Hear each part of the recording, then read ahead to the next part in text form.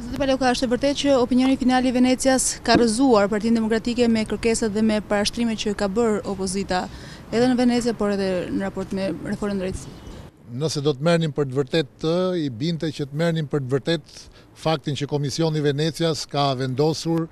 kapjen politike të institucioneve të drejtësisë shqiptare. Nuk ka asnjë gjë të tillë. Sigurisht që Komisioni i Venecias ka dhënë rekomandimet e tij finale që përputhen plotësisht me parimet kryesore që ne kemi dhe që Komisioni i Venecias i ka qëndruar që në fillim, që janë që janë parimet kryesore, po them, jo pikat dhe detajet, sepse ato sigurisht i diskuton Komisioni i Reformës,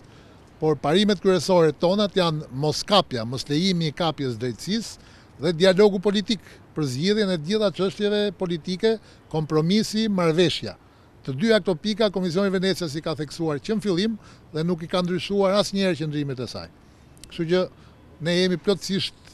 në qëndrim të njëjtë me Komisionin e Venecias, do vazhdojmë të ngulim këmbë që